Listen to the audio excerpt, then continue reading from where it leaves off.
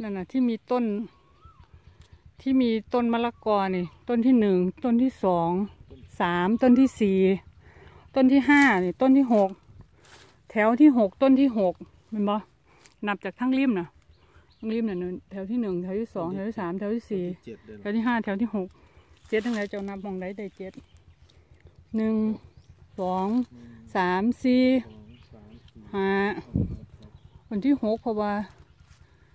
นับกาแฟนะนับมาจากต้นนี่นับมาจากกกม่วงนี่โอ๊กเอ้ยกกกกมะละกอมะฮุ่งเนี่ยมันเป็นต้นที่หกแถวที่หกต้นที่หกจะจำเอาเลย ใหญ่มนหนาแทบวะนี่